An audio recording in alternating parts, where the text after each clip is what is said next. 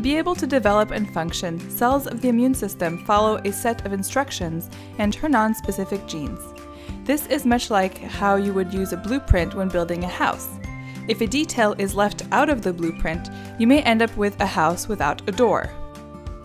Babies who are born with mutations in the important immune system genes lack the correct blueprint, and as a result, they can't develop a normal immune system. These babies have what is called severe combined immunodeficiency, or SCID. A special type of cell lives in our bone marrow called a hematopoietic stem cell, or HSC. These cells can produce all of the different types of immune cells.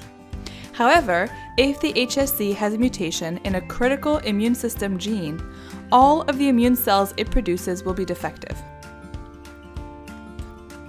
Scientists are trying several complementary approaches. One, fixing the gene mutation in the HSC, and two, getting rid of all of the mutated HSCs and replacing them with normal ones.